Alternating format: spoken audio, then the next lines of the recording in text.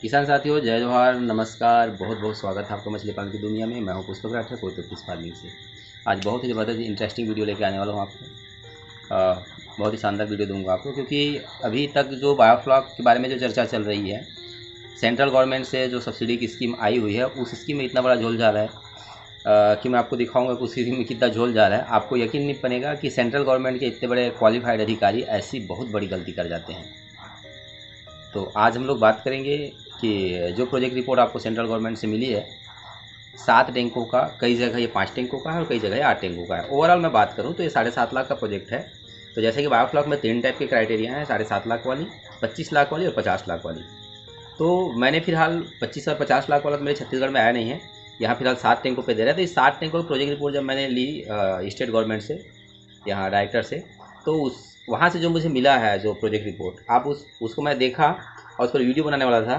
कि project report आपका कैसा हो तो उसको देखा तो मेरा माथा ठनका कि अरे यार, ये इतनी बड़ी गलती, इतने बड़े बड़े अधिकारी कैसे कर सकते हैं? तो मैं चलिए, मैं फ़िलहाल ये कापी मेरे पास है, ये तो आला वीडियो पे अच्छे से दिख नहीं पाएगा। मैं आपको इसकी अच्छी सी कापी आपको स्क्रीन शॉट करके आपको यूट्यूब में दिखाऊँगा और बताऊँगा कि ऐसा कैसे पॉसिबल है। चलिए, बहरहाल बात करते हैं, अपनाते हैं मुद्दे पे और चर्चा करते हैं कि आज इस टॉपिक पे एक्चुअल में ये कहाँ मिस्टेक था और इसको आप किस तरीके से सुधार कर सकते हैं? तो जैसे मैंने बायोफ्लॉक पे सब्सिडी के बारे में बोला कि ये सेंट्रल गवर्नमेंट की स्कीम है बेसिकली आ, लेकिन ये जो स्कीम है चाहे सेंट्रल गवर्नमेंट से बिल्कुल है स्कीम है लेकिन इसे जो सेंक्शन करने का काम जो स्टेट गवर्नमेंट करती है।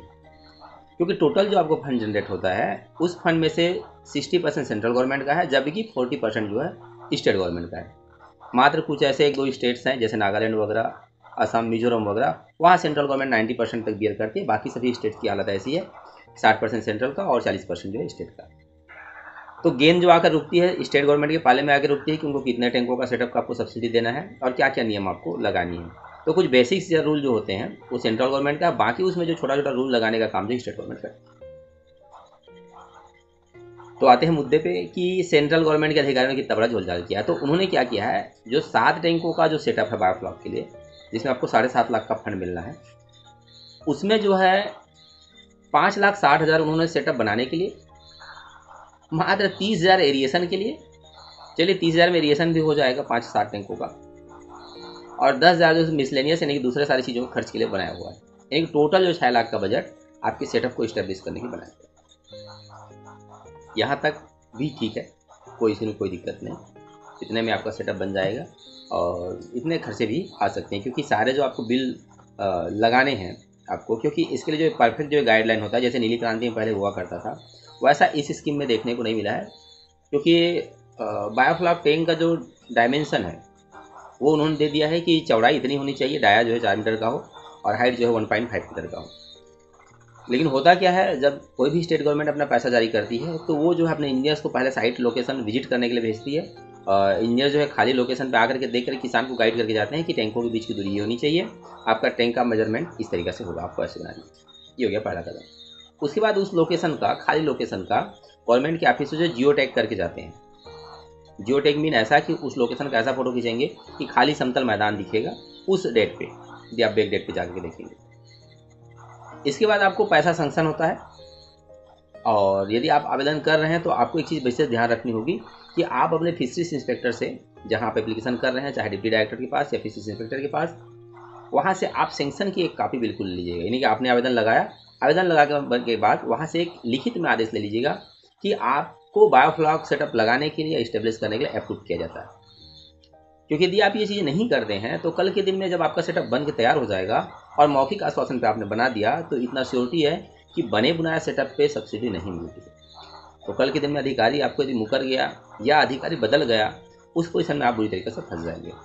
तो आपने एप्लीकेशन लगाई एप्लीकेशन लगाने के बाद जब तक अप्रूवल की लेटर नहीं मिल जाती आपको सेटअप लगाने की, तब तक आप सेटअप बंद नहीं दूसरी चीज़, आप जो है एप्लीकेशन के टाइम जून जुलाई में आप कर दीजिए। पैसा आने में आपको थोड़ा समय लगेगा। इसमें पहले आपको फंड जनरेट होता है forty percent sixty percent sorry suppose आपको मान लिया जाए एस टी एस सी हैं तो साढ़े सात लाख में साढ़े चार लाख का बजट मिलना है। और महिलाएँ हैं तो भी आपको साढ़े चार लाख का बजट मिलना है। और अदर हैं तो आपको लगभग तीन लाख बीस हज़ार के आसपास का बजट मिलना है।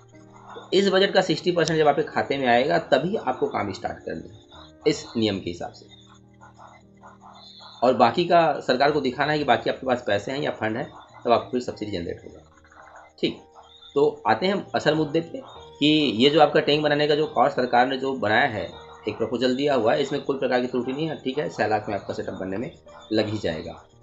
इसके अलावा जो उन्होंने वेरिएबल कॉस्ट दिया है, मछली पालने में जो खर्च होनी है तो उसमें उन्होंने क्या दिखाया है कि सात हज़ार पीसेस मछली के बच्चे लिए हैं, सात टैंकों के लिए। यानी कि पर टैंक आपको एक हज़ार पीस का बच्चा। बच्चे की कीमत जो है फिंगरलिंग बच्चे की चार रुपये दर्शाई है, वो भी ठीक है, क्योंकि कई स्टेट जैसे वेस्ट बंगाल हो गया, जैसे छत्तीसगढ़ हो गया, यहाँ बच्चे सस्ते हैं। आपका तीन रुपये तक में इजीली बच्चा मिल जाता है। लेकिन कुछ जगह ऐसे हैं, जैसे मैं राजस्थान की बात करूँ एमपी की बात करूँ, जहाँ सीट का प्रोडक्शन नहीं होता। जैसे यूपी में सीट का प्रोडक्शन बहुत कम होता है डिमांड बहुत ज़्यादा है। बिहार में सीट का प्रोडक्शन पंगासेस वगैरह की कम है और डिमांड बहुत ज़्यादा है। आई वगैरह का तो अच्छा से खाता होता है बिहार में, लेकिन पंगासेस वगैरह का बहुत कम है। क्योंकि वहाँ विंटर का सीज़न टच कर जाता है तो कैट पीसेस बहुत कम कर पाते हैं। तो इन सब के चक्कर में क्या होता है, ठीक है, चार रुपये चलने लायक प्राइस है। तो सात हज़ार बच्चे का, चार रुपये प्राइस के हिसाब से सात सौ अट्ठाईस हज़ार इन्होंने कर दिया। इसके अलावा स्टाफ की जो सैलरी है, वो लगभग लगभग छः महीने का है। तो बारह हज़ार के हिसाब से छः महीने का बहत्तर हज़ार वो भी कर दिया, वो भी ठीक है। सबसे बड़ी जो झोलझाल है इसमें, वो कहाँ पर है? इन्होंने जो फ़ीड लिया है, जो बायोलॉज में उन्होंने सब्सिडी स्कीम पे जो अपना डीपीआर डिटेल प्रोजेक्ट रिपोर्ट जो उन्होंने बनाया है तो उससे फ़ीड के लिए उन्होंने सिर्फ़ पाँच क्विंटल फ़ीड लिया, पाँच सौ के जी फ़ीड और चालीस रुपये के हिसाब से बीस हज़ार का प्रोजेक्शन किया हुआ तो टोटल आपका वेरिएबल कास्ट उन्होंने सात टैंकों के लिए डेढ़ लाख का बजट जो है सेंक्शन किया हुआ या उन्होंने दर्शाया हुआ अब यहाँ तक भी चलिए, समझने लायक ठीक बात है। लेकिन यदि इसके में आप हार्वेस्टिंग कैलकुलेशन पे जाते हूँ तो हार्वेस्टिंग कैलकुलेशन पे इन्होंने क्या दिखा है? प्रॉफिट लॉस पे। तो ये एक टैंक पे 800 केजी माल तैयार कर रहे हैं, यानी कि जो हज़ार मछलियाँ डाल रहे हैं, उसमें से कुछ मछलियाँ मर जाएँगी और 800 पीस बचेंगे। और जब उन्हें एक एक किलो के आसपास बेचेंगे तो आठ सौ के जी एक टैंक में सॉरी हाफ़ किलो साइज़ में मतलब एक टैंक में हज़ार पीस मछली को पालने के बाद जो मछली बचेगा टोटल सात टैंकों का उन्होंने जो डाटा निकाला हुआ है, वो पाँच पाँच टन चालीस के जी का निकाला हुआ है, चार सौ के जी का निकाला हुआ है। पाँच टन और चार सौ के जी का। तो झोल यहीं पर है। कैसे झोल यहीं पर है? हमको जो एफ़ सी आर बैठता है बायोफ्लाक में, वो वन पॉइंट टू कम से कम बैठता है। यानी कि एक मछली को एक किलो करने के लिए एक किलो दो सौ ग्राम फीट की रिक्वायरमेंट होती है। सात हज़ार मछलियाँ में मरने के बाद भी एटलीस्ट कम से कम पाँच से छः हज़ार मछलियाँ बचेंगी। तो पाँच से छः हज़ार पीस मछलियों को एक एक किलो करने के लिए सिर्फ़ पाँच क्विंटल दाना खिला रही हैं यानी कि पाँच टन का प्रोडक्शन ले रहे हैं, लेकिन फ़ीड खिला रहे हैं सिर्फ़ पाँच क्विंटल। तो ये तो उनसे भी आगे निकल गए जो तीन तीन महीने में मछली को तीन तीन किलो कर दिए थे। बिहारी बाबू का एक चैनल था, आप देखिएगा वीडियो में। नाम बहुत कम लेता हूँ, लेकिन आज ऐसे उद्देश्य टॉपिक निकल गया तो मैं बोल दिया, बोल दे रहा हूँ। नहीं तो किसी की खिंचाई नहीं करता मैं। तो कुछ लोग इस सब यूट्यूब में शुरू शुरू में बायोफ्लाक में ऐसा करते थे कि मछली आज डाले, तीन महीने बाद एक किलो मछली। तो बायोफ्लाक नया था तो जो नए नए किसान थे वो ये ट्रस्ट भी कर लिए।